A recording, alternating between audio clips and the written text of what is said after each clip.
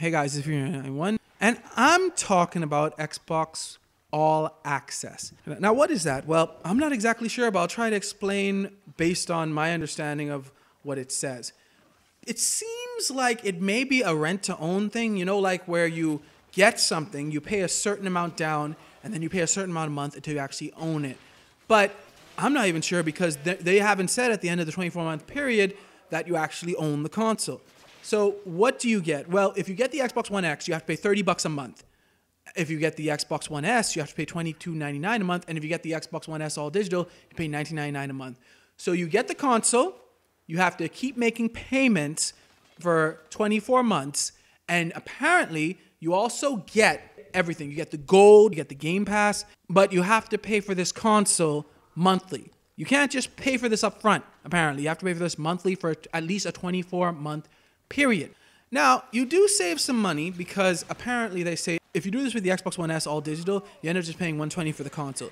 If you do this with the Xbox One X, you end up paying about 384 for the console, which is still a savings technically, but this is just so weird.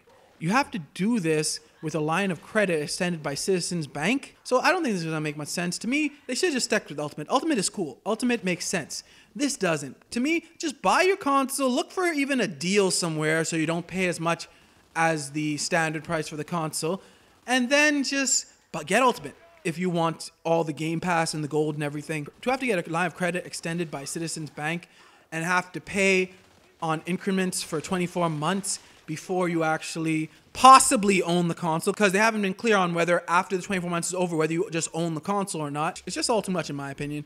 Hey, this is for you guys, whatever. If you guys would rather pay 30 bucks a month than pay whatever for the Xbox One X and then pay for Ultimate, whatever. But to me, this is all just too weird for just getting a console. Like they want you to have a line of credit extended by Citizens Bank.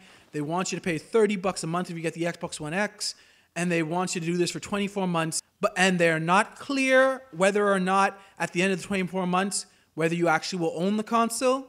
Nah. I, I understand people lease cars, but I ain't into leasing consoles. And that's what it seems like this almost is, like a lease. But anyway, what do you guys think about Xbox All Access? And what do you guys think it actually fully is? Because they're not exactly clear. Let me know in the comments below. Thanks for watching, like, subscribe. May God bless you all.